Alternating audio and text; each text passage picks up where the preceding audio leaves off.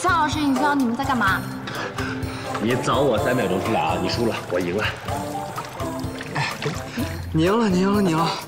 哎，幼稚死了！今天是费斯的生日，也是费特的减压日，所以费特，你今天放心大胆的教费斯游泳，啊，就算教不会也没关系，反正来日方长嘛。这次活动就是向老师和苏老师帮我策划的，也是他们把我带出来的。谢谢向老师。哎，对了，还有一点，你们千万不用担心。从上一次我落水之后，我就去考了一个救生员的证，所以你们的安全交给我了。哎，你们的苏老师呢？应该快来了吧？哎，苏老师，我们在这儿。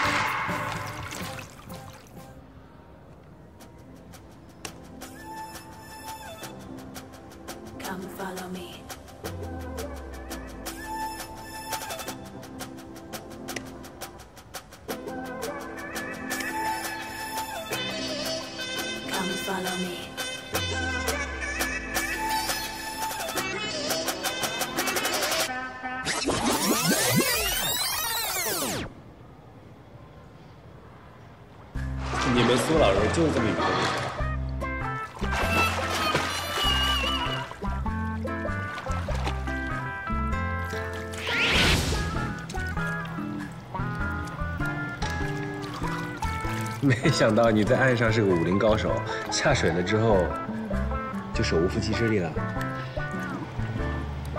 我其实跟费斯一样，只是我没有费特，所以我没学会游泳。你不用费特，你有我。你以后想学什么，我教你，抱在我身上。走，把手给我。嗯，那你不能坏我啊。啊，另一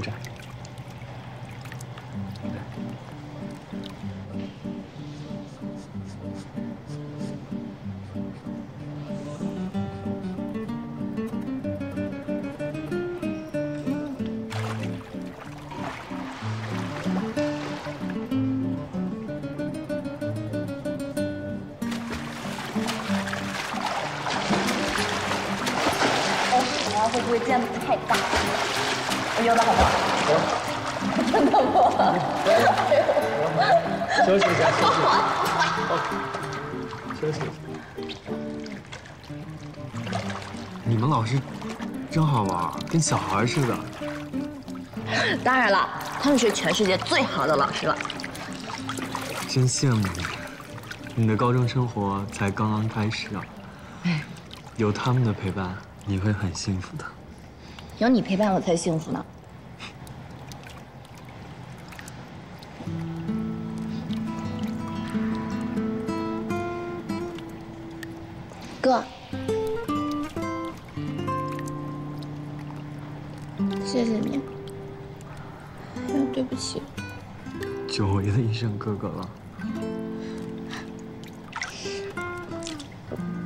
对不起，这件事我太不懂事儿了。你有什么对不起的？就是，就是所有的所有的都对不起。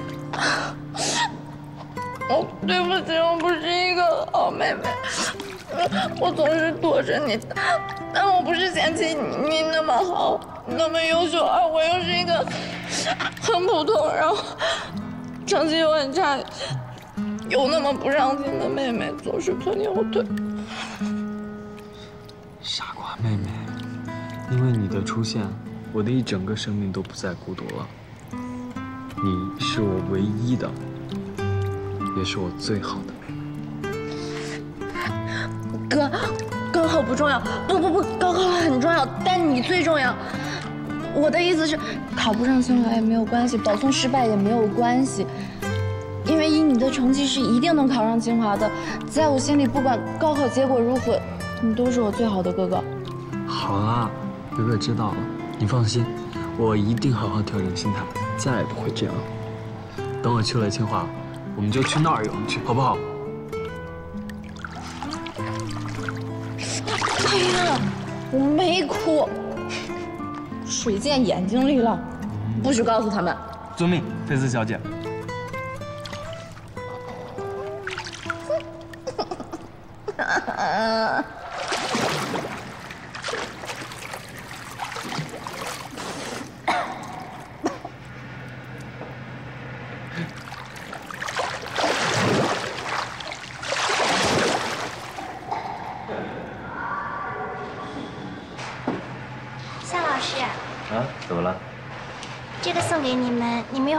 走他吗？这是你画的？刚刚画的，谢谢你和苏老师帮助了我的朋友。画的真好，谢谢你啊，鸽子，我很喜欢，苏老师也一定会喜欢的。老苏，快上来吧，都扑腾一个多小时了，孩子们都上来了。你看鸽子给我们画的画，画的我吗？我看看，画的真像。鸽子，以前老师怎么没有发现你有这方面天分啊？太棒了，谢谢你啊，鸽子。你们喜欢就好。当然喜欢了。偶像，为了你这句话，我一定会加倍努力的。嗯。来，祝费斯生日快乐你们这样弄得我怪不好意思的，就是一个生日而已。只要你开心，我每天都给你过生日。你是想让我每天都老一岁吗？那也祝费特能够轻松愉快地考上清华。我尽量轻松。哥，你刚才怎么跟我说的？理想和实操还是有些微的差别的，高考可太难了。你们怎么了？就一个高考就害怕成这个样子？夏老师，我看费特哥都累成这样，我都不想高考了。你能不能一直读高一啊？行啊，你可以一直蹲班。我也经历过高考，我知道高考有多累，但是我要告诉你们一个真相：高考可能是我们这一辈子唯一能打的最公平的一场仗。当你们长大以后步入社会了，你们就会发现，不是所有的努力都会有回报的，也不是所有的事情光靠努力就能解决的。但是还是要好好努力的。高考虽然很烦，但是在高考中的努力是大概率会有回报的。多写一道题的时间就可能换回五分，多读一会儿书的时间就可能换回十分。通常分数和努力是成正比的，这很公平。所以啊，你们要好好的珍惜高中的这三年，包括高考，因为你们所做的所有的努力都是看得见、摸得着的。没有什么事情比这样的事情更轻松和愉快了吧？夏老师的意思是说，我们要享受这个努力的过程，好好学习，高考必胜。高考必胜！必胜！高考必胜！这么重要的日子，我们来合张影吧。嗯，好。三二一，高考必胜！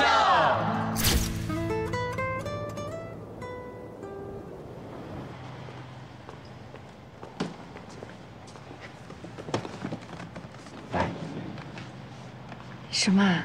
打开看看，喜不喜欢？先声明啊，贵重的礼物我可不收啊。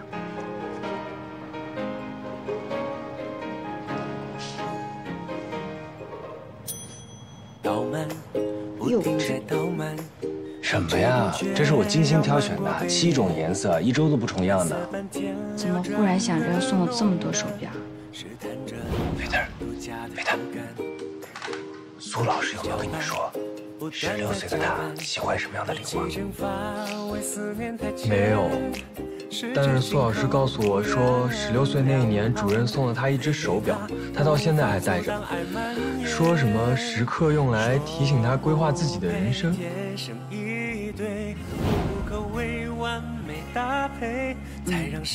就是这只。我知道，但是我怕十六岁的你不喜欢这只表。为了弥补你曾经的时光，带你重新体验一下十六岁的感觉。今天的你想戴哪一只颜色的表啊？嗯，粉色。踏过了一路坑洼，故事最后想给你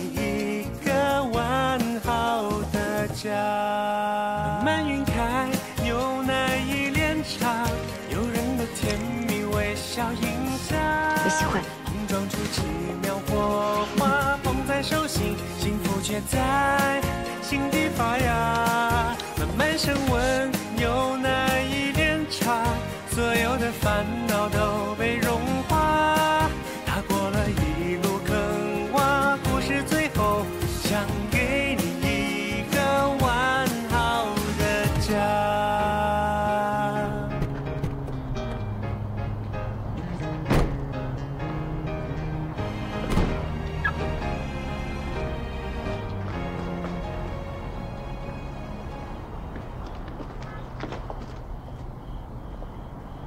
姐，我我们你跟我过来。主任，带走费特是我一个人的主意，跟老苏没有关系，全部是我一个人的主意。你给我留下。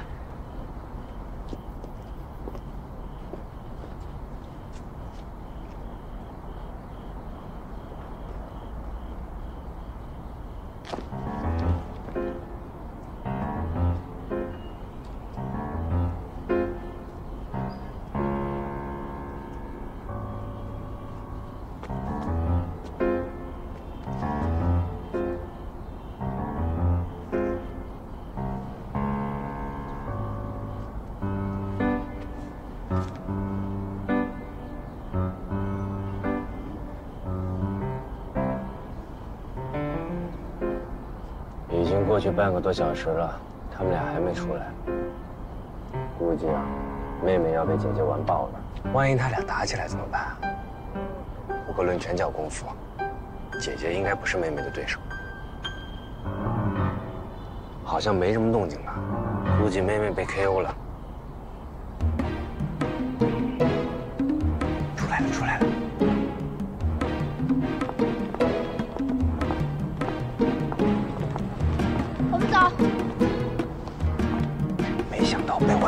姐姐啊！生生，你的机会来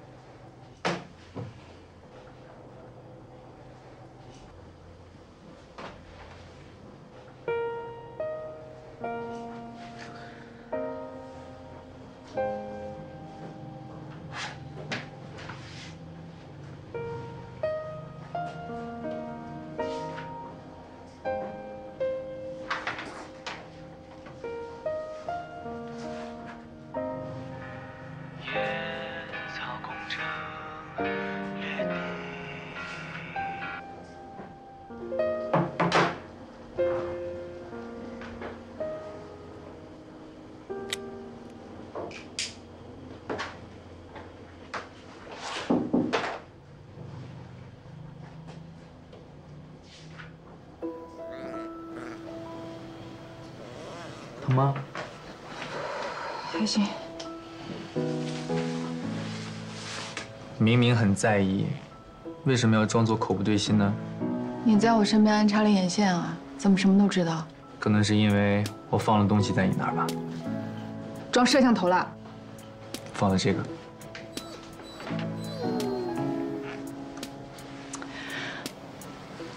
哎，有些事或许旁人不理解，但有些话必须我来说，有些立场必须我来坚持。所以，你没有告诉杜校长和安校长，选择自己解决，是害怕事情闹大了，到时候大家都不好收场，对吗？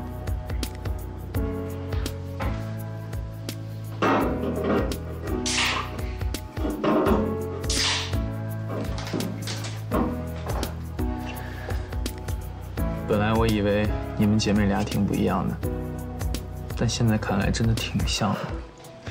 上一次陈玉慧不见了，苏老师也是疯狂的去找，生怕她出点事儿。你再看看你，也是一样，就连放在办公室的运动鞋都来不及换。你连我办公室有运动鞋都知道？对啊，越是了解你，就越是担心。我知道，你外壳坚硬，内心柔软。行了，别说了。好，我只是还不想说我们的事。是不是你和苏老师？在你眼里，向东南是个什么样的人啊？他真傻白甜，是一个永远充满热情、永远相信真善美的大傻瓜。这样的吗？嗯，但就是这样的他，却总是让人不由自主地跟随他的脚步，待在他的身边。还真是。或许是我的问题吧。你为什么会有这样的错觉？你已经很优秀了，小姐姐，要给别人留条活路啊。优秀？嗯。不就是请个假吗？这不行那不行的，上纲上线。平时对我这样也就算了，怎么现在对学生也是这样啊？难道掌握别人人生就这么有成就感吗？我走过的路都是他走过的，我会的也都是他会的。从小到大，无论是生活还是工作，我都是按照他的标准来。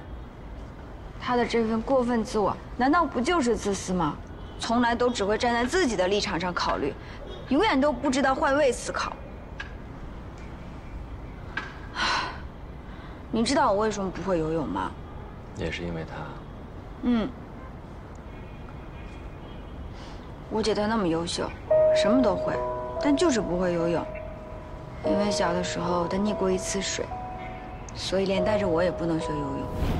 妹妹，我想学游泳，带我去游泳馆。哎呀，琪琪，你把这衣服脱下来，你就跟姐姐在家玩多好啊！别去游泳。苏琪，你作业做完了吗？复习了吗？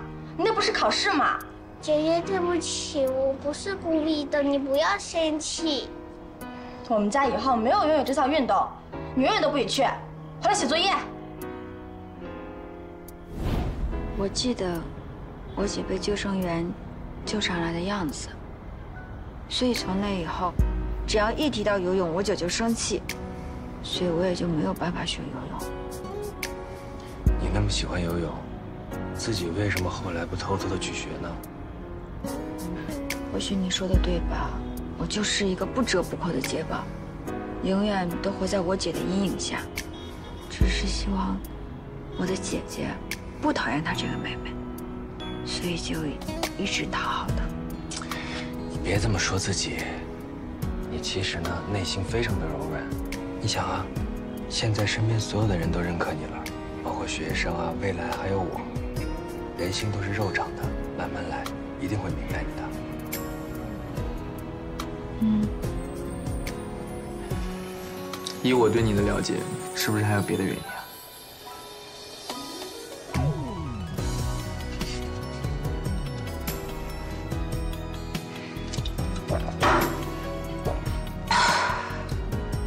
有啊，执行头让我望而却步的原因。我们原本就只是在江边玩耍。真的太笨了，我不应该带他到江边。我不知道他什么时候从我身边溜走的，我一下子就慌了。来人要救救我妹妹！苏琪！有没有人救救我妹妹苏琪？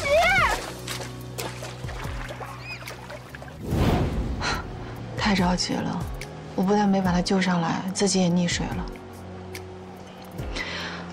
后来景区的管理员来的很及时，要不然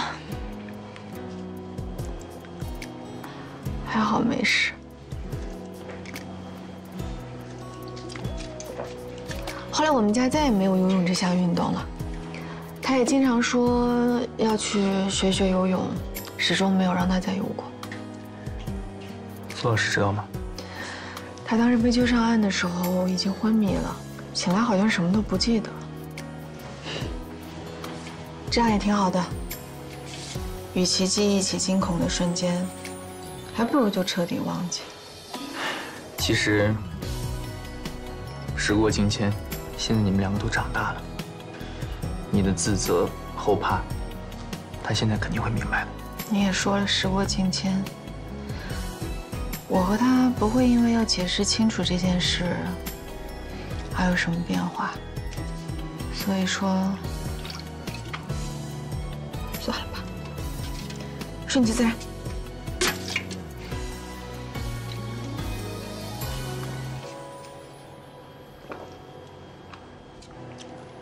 那天在山顶上，苏老师其实是个很好的妹妹，会有明白的一天的。今天晚上我一定要好好睡一觉，准备迎接明天的暴风雨。嗯不管什么暴风雨，我们都一起面对。嗯，做都做了，就要敢做敢当。况且我没觉得我做错啊，所以我不怕。哎，你就不能表现的需要我一点吗？让我有点存在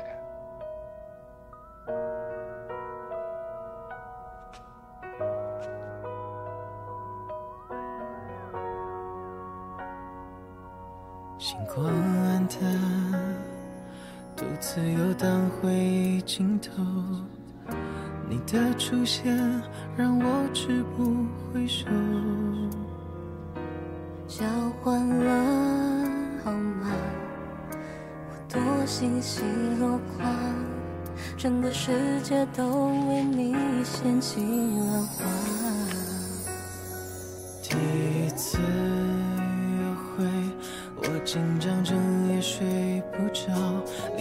仿佛就忘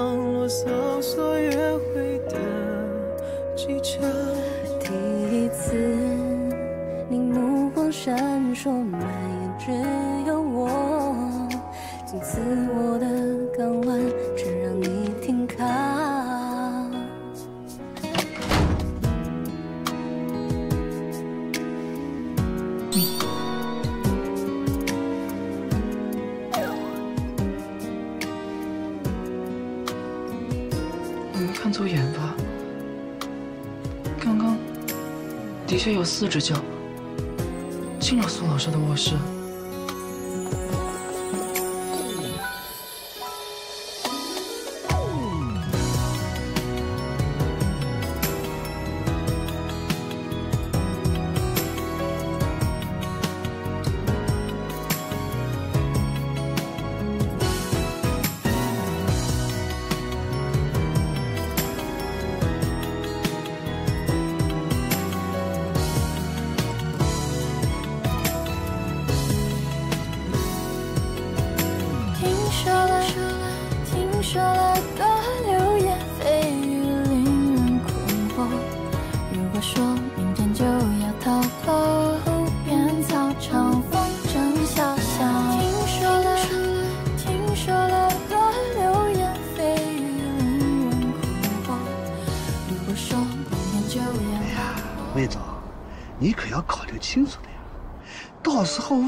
小姐怎么解？你别恼呀！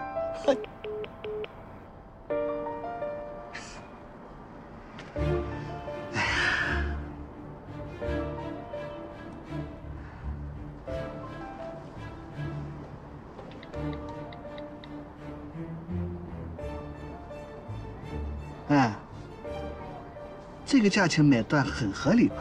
你要是还需要考虑考虑的话，那么我就先交给林森过过眼。哈哈，我相信他肯定很愿意给我这个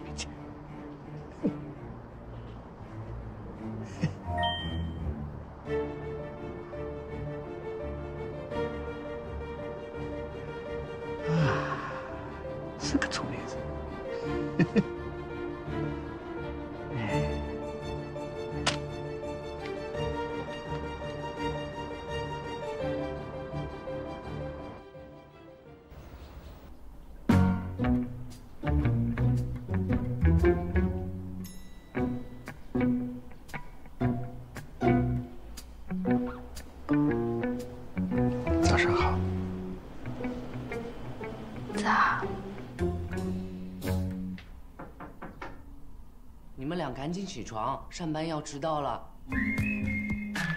完了，我以后怎么见人啊？媳妇儿别怕，我去灭口。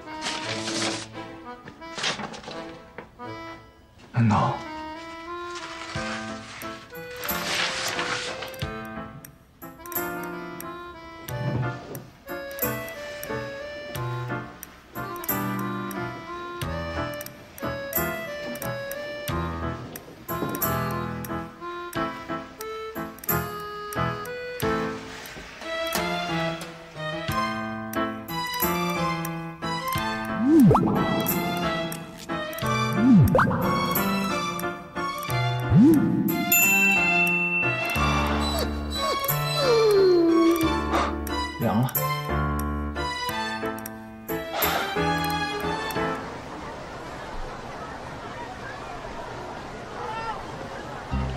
费斯，你怎么了？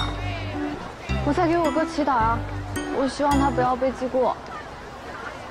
那我陪你一起祈祷。哎，你们就放心吧，费特都高三了，而且苏主任向来口硬心软，不会给他记过的。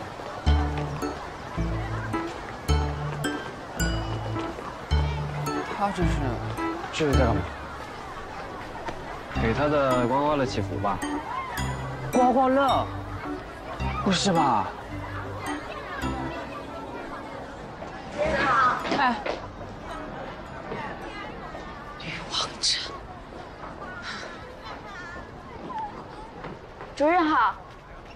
嗯，学校猫太多了，我给你准备了你常用的过敏膏。谢谢。哎，就这样啊，不多说一点啊？就这样啊，多说什么？走了。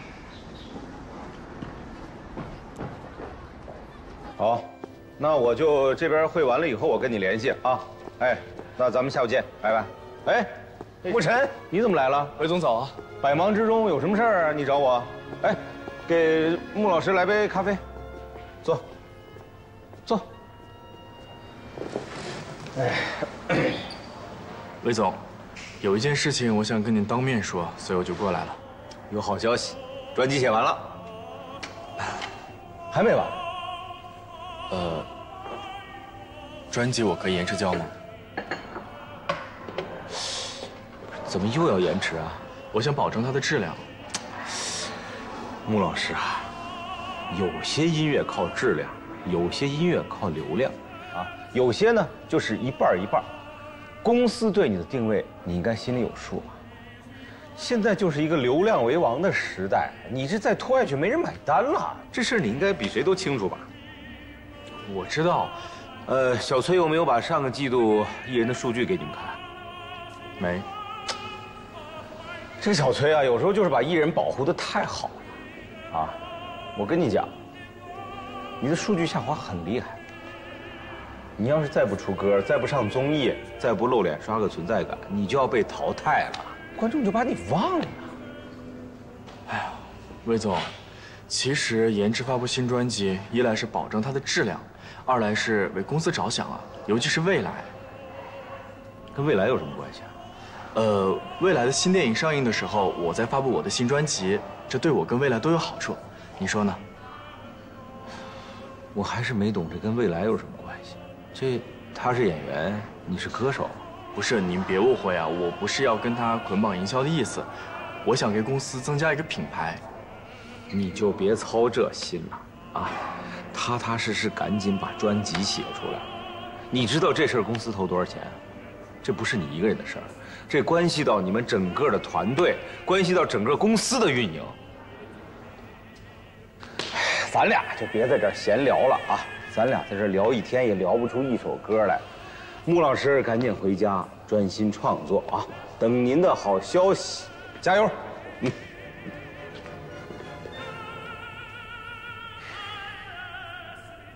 上次，上次我就强调过，高考是千军万马过独木桥，对他们而言，每浪费一秒钟就会跟别人拉出一大段距离。上次的模拟考试，我们学校最有希望的清华预备役被艺术班的老师带出去玩还玩了一整天。夏老师，苏老师，上次你们把费特从图书馆带走，我就一直在等你们的解释。难道带费特去游泳馆就是你们对我的解释吗？那个吴老师，你冷静一下，我说两句。苏老师，你有什么难言之隐，你就跟大家说，大家都在这儿，你大胆的说，不要怕。你为什么会帮他做出这样的事情？杜校长，我又哪儿得罪你了？没有什么难言之隐，这确实是我跟向老师的责任，我愿意承担这个错。吴老师，这件事我跟您道歉。擅自带费特去游泳馆，让他错过了模拟考，是我一个人的错，跟费特没关系。您不要处分他。吴老师，你就没有错吗？连电脑都有待机功能，更何况是人？高三，每天都有模拟考试，可是妹妹十六岁的生日只有一次。帮妹妹过个生日是费特的心愿，如果这个心愿不能达成，他会一直自责懊恼，这难道不是影响高考的大事吗？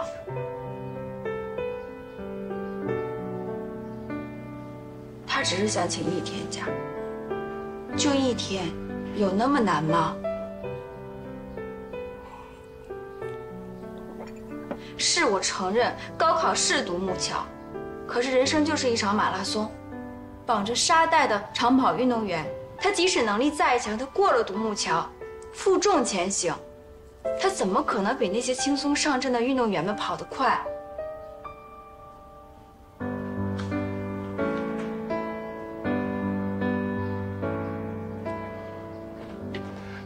苏主任，你怎么看？苏老师和向老师的做法不妥，但是苏老师这番话没错。菲特这件事情上，我确实是做错了，大错特错，岂有此理，岂有此理！你简直是毫无底线，道德沦丧，误人子弟，不配为师。看看手机，热搜，搜搜搜什么呀？校长，你看我的。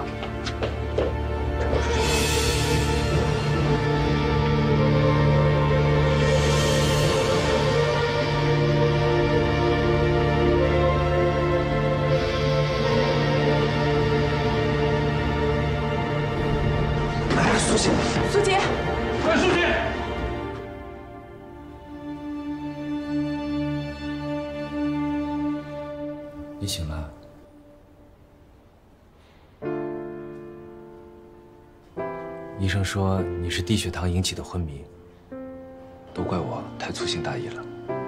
你要喝点水吗？姐，对不起啊。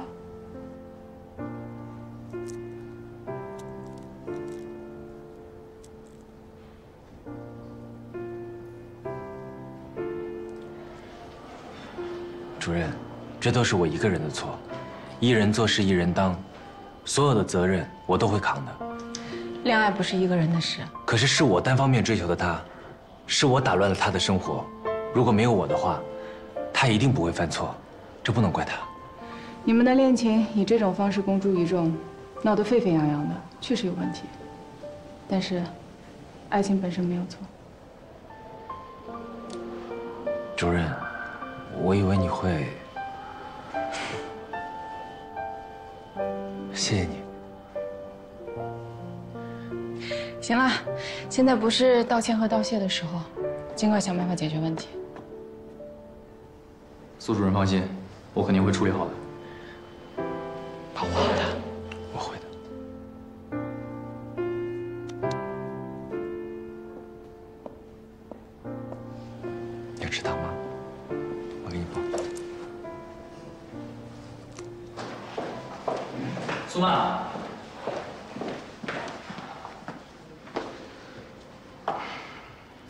已经和未来沟通好了，他说会发声明澄清和向东南的恋情无漏。为了保护苏老师，我们这边也会选择保护吗？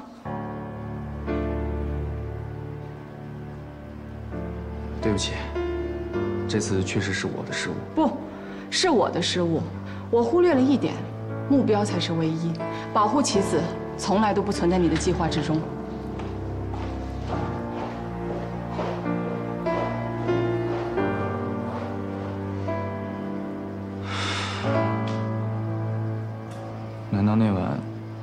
不算是你给我的答复了吗？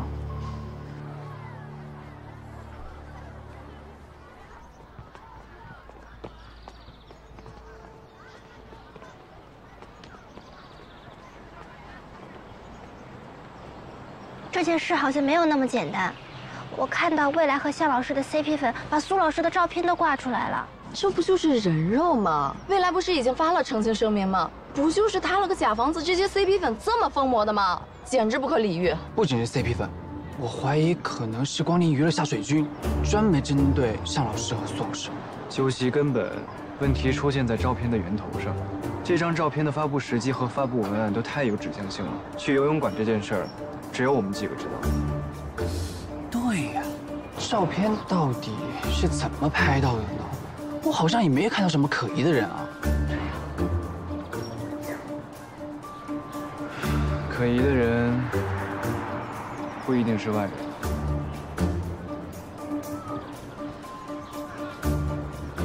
宁霄，你该不会是说我们之中有内鬼吧？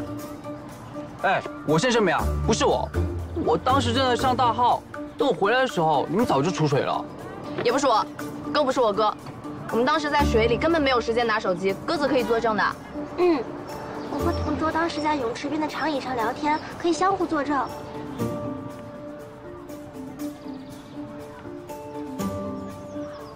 贝贝，该不会是你吧？绝对不可能是杨老板。我相信贝贝，贝贝肯定不会。是我。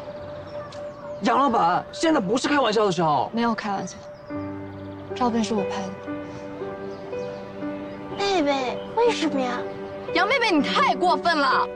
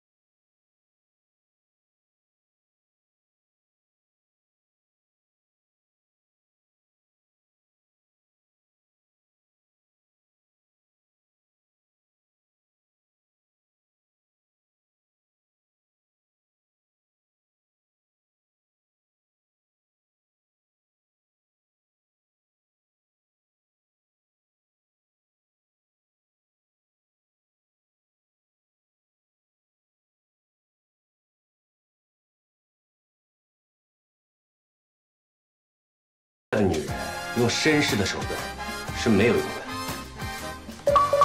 你姓葛。